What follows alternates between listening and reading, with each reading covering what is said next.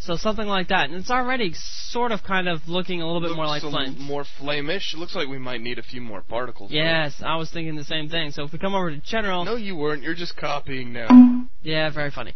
So inside of here, look at that. Ooh. Maybe a little bit too many particles. Maybe dump some down to 50. Now that looks flamey. That does look flamey. Now, if we come over to color, let's set the opacity a little bit lower, so maybe something like 0.8. And maybe a little bit lower. Again, it's a tweaking thing. You don't need Sure. exact values here. Another thing, fading. As you can see, we're kind of using pretty much the same ones in every single effect here.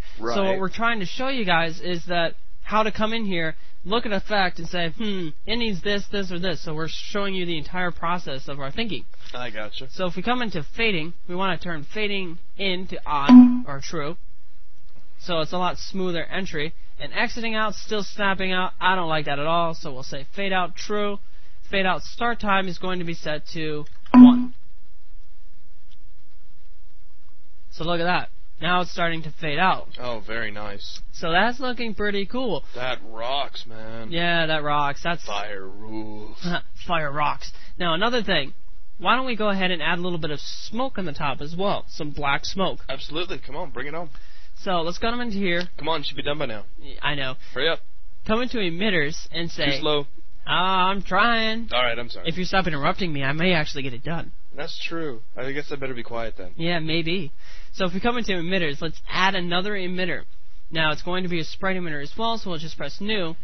Now, mm, no, definitely not. So let's come into our texture browser here. That don't look like smoke. No kidding. If you come down to here, we have a smoke texture or smoke sprite. Now that is convenient. That is convenient. So if we come down to texture, we'll say use you. Texture subdivision. Use me? Use the yeah. Couldn't help myself. I know. Use Zach. Attribute set to true. Yeah, that's just nasty. So we can say texture U subdivision set to four and texture V subdivision set to four as well. So now we have these, well, massive smokes. No, definitely. No, that's not smoke. That's some kind of crazy ghost texture. Yeah, that's bad. So let's come over here to size, start size range, and set this down to something a little bit more manageable. Maybe something like 10 and 5.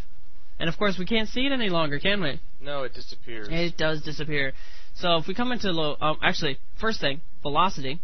So come into velocity, come down to start velocity range, set Z, and we'll say this guy is supposed to be 50 and 40. So look at that. Okay, so we got the little tiny puffs of smoke. Like Yeah. we're sending smoke signals to each other? Exactly. Isn't that fancy? No. All right. So under um, location tab, start location shape, we'll set this to sphere, and we'll set this to around 15. Set what to around 15? Um, start location. Oh, I'm sorry. s- Um, sphere radius range. So it has a range. I'm sorry, I'm sitting a little back from the monitor. I couldn't Ah. see it. And you know, later on when people get this on the video, they may not be able to read that. You know, they might not be watching you. They could be in Unreal Ed right now just listening. Yeah. So if you actually say each attribute, they can follow along without actually having to see how bad your work looks. Oh, I'm sorry. I didn't mean to say that. Oh, did that come out? Uh, Whoops. Yeah. Thank you. So under general, let's turn up the particles to say 50. So a lot more particles. Oh, wow. That's looking so not wonderful. Yeah, it's looking pretty awful, man. So let's turn the particles up some more to make it look worse. And maybe even more. Yeah, more of a bad thing usually tends to be worse, but very you know, well. you never know. So I'm thinking maybe a little bit bigger sprites as well. So maybe set this to 20 and 15. Okay. And set the sphere radius. You'll see what I'm doing about three seconds. Come down here and set this to 10. Now, if we come down to the very bottom here to our texture and change this over to darken, Three. look at that. Dark That's smoke. a lot of black smoke. Yes, That's it is. like we're burning a tire or something. Yeah, that's kind of bad.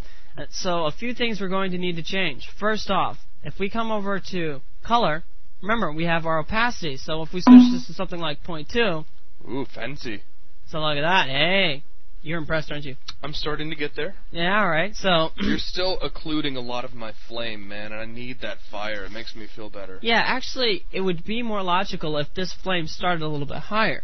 But if we move this emitter, the whole thing is going to move up. Exactly. So we don't want that. So how do we do this? Well, this Probably, is- I would say adjust the fade in of the smoke. well, we could do that, but we could also come down to just to show another thing. Under location tab, we have start location offset. Ooh, fancy. So we could come in here and say Z20, and look at that. It's starting out up here now. All right. And if we wanted to start a little bit higher, oh yeah, higher, baby. Sixty. no, 35. No, do, do it sixty. Okay. I commend you.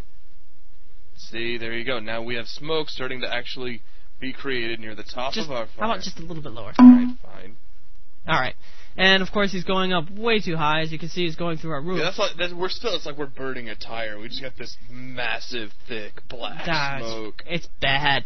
So let's come into fading, as Zach suggested a second ago, and turn on fade in, and we can set this to something small, just so there's a little bit of fade in, so it's not too abrupt. And we'll set the fade out to true as well.